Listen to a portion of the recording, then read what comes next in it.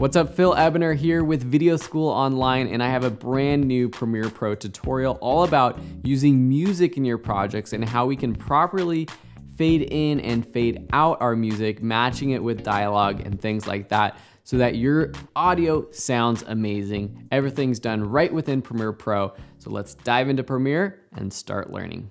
There are a few ways to fade in and out of music or any audio in Premiere Pro. I'm going to show you how to do it in three ways, hopefully in the next minute or so. So I've added this music clip and I have these credits that I've been working on and it's obviously too long. So I'm going to take this music clip, cut it to the length of my credits. And the easiest way is with a keyboard shortcut.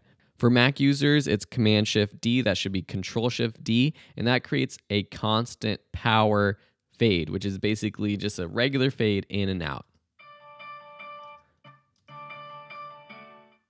So I can actually extend the length of this fade so it sounds a little smoother just by clicking the edge of the fade, dragging to the left.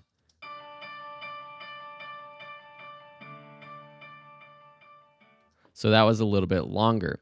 There are different types of fades though that you can find here in the effects bin under audio transitions under crossfade. So we use the constant power, which is the default transition for audio, but you can also use what's called the exponential fade, which kind of ramps up or ramps down the fade. So listen to this one. I think that exponential fade when fading out music sounds a little bit better. So those are two ways to do it. You can also actually right click and just apply default transition, which is the same thing as pressing Command Shift D on a Mac. Now you can also do this a manual way with keyframes. So what you have here on your audio track, if you don't see it, make sure you open up your audio track, maybe extend it so you see this line here. If you don't see this line or you don't see something else, right click the clip, go to show clip keyframes, and make sure it's on volume level. Now with the pen tool right here, we can actually just click to set a keyframe and then click somewhere else to set another keyframe and we can drag these keyframes up or down to actually increase or decrease the level of the audio. So see how I created this sort of upward angle of this line? That means that the audio is going from negative infinity basically, which is no sound, all the way to our regular level. So see how that got really loud? We can also do this at the end by clicking here. And notice if I click and drag down, what happens is it creates a fade from this existing keyframe up here. So the keyframes, you really need two to create a fade. So I'm just going to undo that. Then I'm also going to click here. And then I'm going to take this last one and drag it down. So we have this longer fade. And also notice how I can drag to the left or right to make it shorter or longer.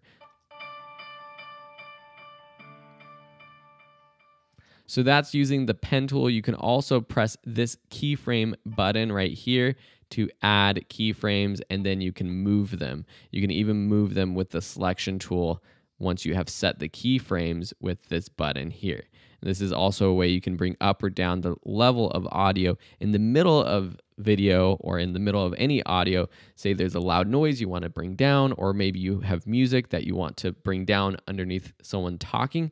This is how you can do it in a custom sort of manual way. Okay, so those are just a few ways to quickly add a fade in or out to your music or any audio in Premiere Pro.